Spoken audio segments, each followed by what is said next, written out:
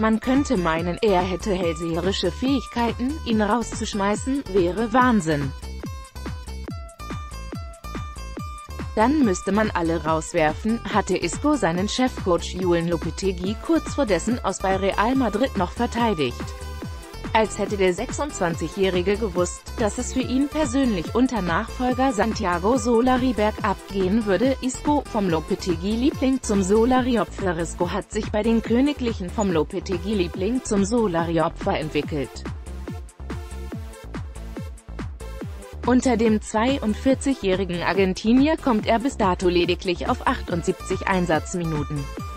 540 wären insgesamt möglich gewesen. Sein letztes Spiel von Beginn an bestritt der Feinfuß beim 1:5 Debakel gegen den FC Barcelona.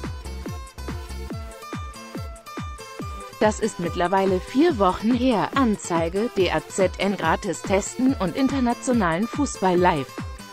Dass bald auch der Andalusier Isco die Flucht ergreift, ist inzwischen alles andere als unwahrscheinlich. Spätestens seit Reals Champions League Gastspiel in Rom 2 zu 0 gegen Rom überraschend aus dem Kader gestrichen zur Überraschung aller botete Solari den Mittelfeldstar aus dem Kader aus und verdonnerte ihn auf die Tribüne. Auf der Suche nach seinem Platz an diesem Dienstagabend irrte er in den Katakomben des Stadio Olimpico orientierungslos und bedient herum. Twitter.com-marker-status 1067583438801248256 Solari hatte 20 Profis mit nach Italien genommen, von denen er bis zum Anstoß neben Ersatztorwart Luca Zidane noch einen weiteren Akteur streichen musste.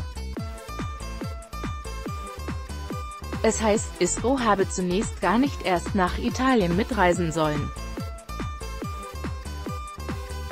Er sei am Montag letztlich aber doch mit in das Flugzeug gestiegen, weil Solari vermeiden wollte, schon am Tag vor der wichtigen Partie in der Königsklasse einen Nebenkriegsschauplatz zu eröffnen. Solari Isco-Ausbotung hat sportliche Gründe, dass der Coach dann aber auf der Pressekonferenz nach dem Spiel mit seiner Entscheidung gegen Isco konfrontiert werden würde, stand schon mit der Bekanntgabe von Aufstellung und Ersatzspielern fest, das sind bestimmte Entscheidungen in bestimmten Momenten, griff Solari auf mehrfache Nachfrage der Medienvertreter zu einer simplen Erklärung, die Entscheidungen haben fast immer sportliche Gründe und nur selten andere. So ist es auch in diesem Fall, gab er außerdem zu Protokoll. In den vergangenen Wochen hatte Solari durchblicken lassen, dass ihm die Trainingsleistung des Dribblers nicht gefiel. Unter Lopetegui, Zidane, Rafael Benitez und Carlo Angelotti war Isco 2013 für 30 Millionen Euro vom FC Malaga gekommen, allerdings nie mit einer zu laschen Arbeitsmoral aufgefallen. Anzeige, jetzt das Trikot von Real Madrid sichern. Hier geht es zum Shop-Tribünenplatz doch eine disziplinarische Maßnahme. Daher liegt der Verdacht nahe, dass die Degradierung in Wahrheit zumindest in Teilen auch als eine disziplinarische Maßnahme zu verstehen ist. Wie der Radiosender Cadena berichtet, seien Solari und Isco am Samstag im Rahmen der 0 zu 3 Blamage in La Liga bei SD Eibar verbal aneinander geraten. Eine nicht näher beschriebene Respektlosigkeit des Nationalspielers, der nur 27 Minuten lang mitgewirkt hatte, soll letztlich zu der nächsten Stufe der Demütigung geführt haben. Ob Solari es bei dem Denkzettel belässt, wird sich am Samstag zeigen.